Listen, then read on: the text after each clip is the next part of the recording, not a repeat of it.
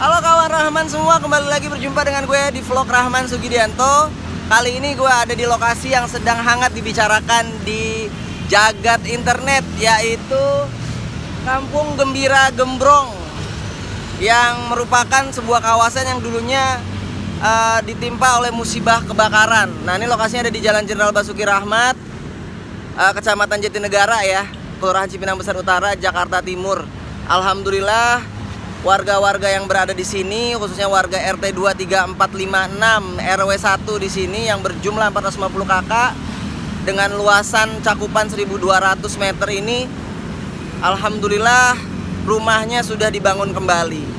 Maka dari itu kita lihat yuk bagaimana sih sebenarnya dalamnya itu seperti apa eh, rehabilitasinya seperti apa yang dimotori oleh Pemprov DKI Jakarta melalui gubernurnya Bapak Anies Baswedan kita lihat bagaimana uh, mungkin tanggapan warga, uh, pendapat warga tentang uh, rumahnya ataupun kawasannya sudah di, dipercantik seperti itu menjadi warna-warni dan ini bisa menjadi ikon uh, urban ya masyarakat apa perkampungan urban di kota Jakarta bahwa ini adalah sebuah langkah yang bagus untuk menghilangkan uh, kesan kumuh di perkampungan yang begitu padat di Jakarta. Oh ya jangan lupa ya uh, sebelum kita lanjut. Jangan lupa ya like uh, comment share and subscribe supaya gue lebih tambah semangat untuk membuat video mengenai perkotaan ataupun transportasi dan lain-lain untuk kalian semua. Ya teman-teman kita bisa lihat ya kesan gembira itu sejak awal ketika kita memasuki kampung gembira gembrong. Tadi kita sudah melihat banyak sekali anak-anak yang bermain sepeda. Dan ini cukup uh, bagus ya dilengkapi dengan pedestrian yang cukup lebar. Seperti itu. Dan ini ketika gue datang ini gue datang pas hari Sabtu ya. Uh, hari Jumatnya itu diresmikan jadi gue datang H plus 1 dan ketika gue datang banyak juga ya para konten kreator maupun media yang juga ingin tahu sebenarnya bagaimana sih kampung gembira gembrong itu. Seperti itu. jadi gue menelusuri ini Nah kita bisa lihat di kiri ini ada semacam tangga uh, yang landai ya. Ini mungkin un bisa untuk disabilitas ya. Nanti bisa kita lihat ada bacaan selamat datang di Kampung Gembrong-Gembrong. Tulisan ini menyambut kita ya. Selalu ada ada tulisan-tulisan, ada pesan-pesan uh, yang ditulis di di apa namanya di di cat atau di cat di tembok itu ya dan ini uh, langsung aja gue menelusuri gue turun nih. Dan ini cukup kokoh juga ya ini terbuat dari apa namanya besi. Dan ini kita lihat juga ini dari depan ya. Ini semua bangunannya sih nggak ada yang madep depan tapi madep ke samping. Nah ini ternyata selain rumah juga dilengkapi dengan uh, tempat perpustakaan ya. Nah ini kita bisa lihat di samping kiri ini ada ada label RT dan ada namanya ya ini untuk Ibu Murla atau Ibu atau Bapak Murlasi lah seperti itu. Nah ini ada ada semacam posyandu sih ada posyandu yang bisa dimanfaatkan sebagai uh, taman literasi juga atau bisa sebagai PAUD seperti itu RW 1 Cipinang Besar Utara. Nah ini kita lihat ya ini tuh di pinggir sungai ya Nah, semenjak direhab ini dibuatlah dibuatlah jalan inspeksi seperti itu, guys. Jalan inspeksi. Nah, kita lihat tadi kok kalau di di depan itu masih agak sepi ya, tapi kalau di belakang ini di dekat kali ini sudah banyak eh, warga-warga uh, yang menempati.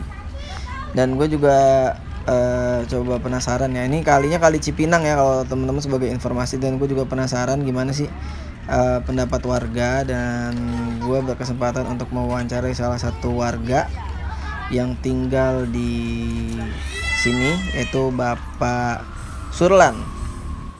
Dulu Bapak uh, rumahnya kena ikut kena kebakaran juga Pak yang ya, semua habis. Barang-barang habis semua nggak ada yang kebawa. Apa pun juga nggak ada yang kebawa apalagi yang gede-gede yang kecil aja surat-surat nggak ke bawah surat-surat nggak nggak ke bawah nggak ke bawah orang saya lagi bukbar waktu itu buka Oh iya waktu itu bulan puasa ya pak ya? bulan puasa benar sembilan hari lagi pas anu lebaran bakar saya nggak tahu tahu-tahu udah gede jadi apa yang diselamatkan main baju aja yang dibawa Cuman baju aja pak. Hmm. Tapi berapa waktu pas lagi renovasi bapak di mana pak? di rusun Di rusun ya? rusun CBU ya?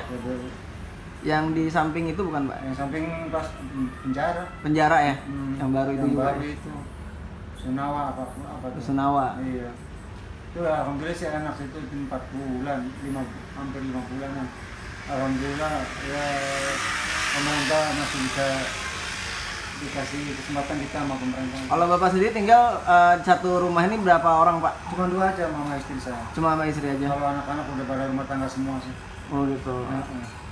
Alhamdulillah pak jadi buat istirahat ya pak ya? iya buat istirahat Apalagi sekarang apa?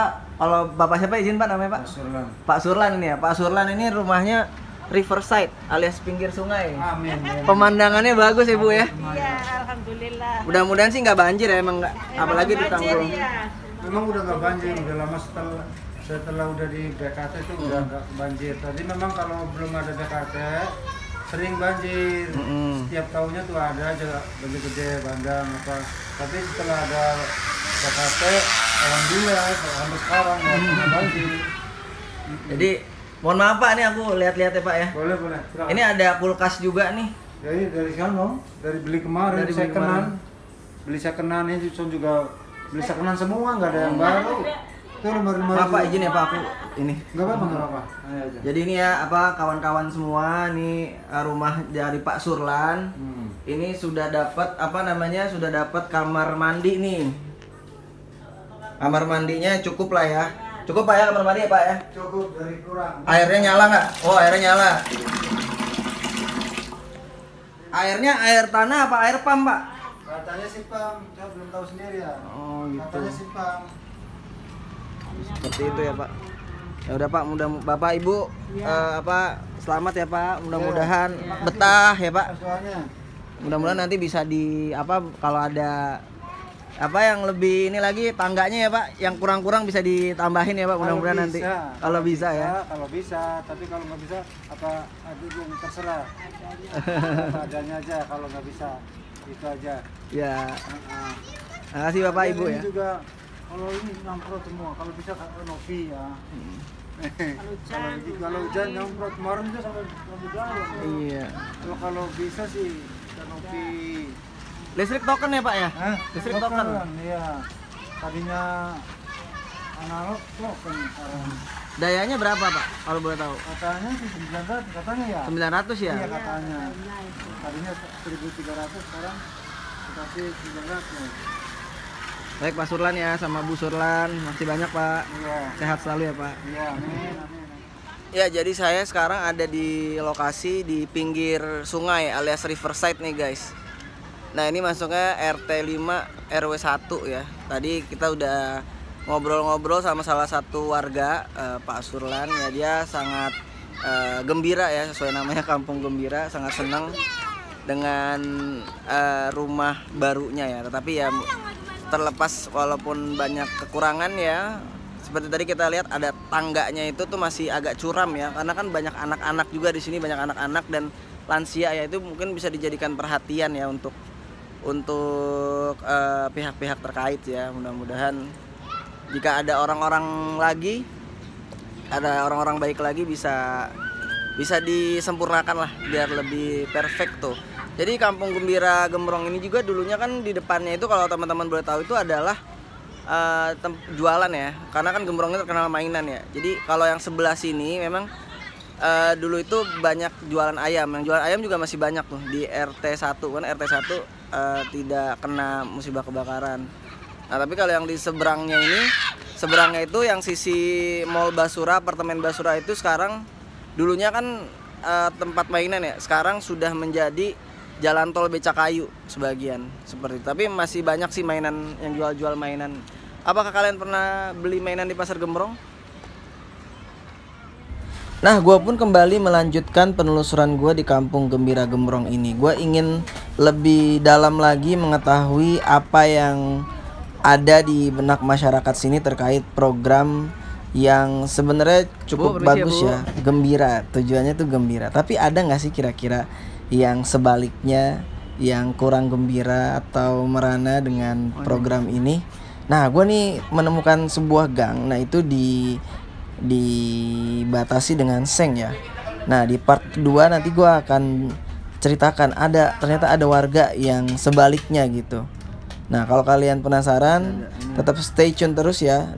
Eh, aktifkan notifikasi karena gue akan membeberkannya di part kedua. Jangan lupa like, comment, share, and subscribe.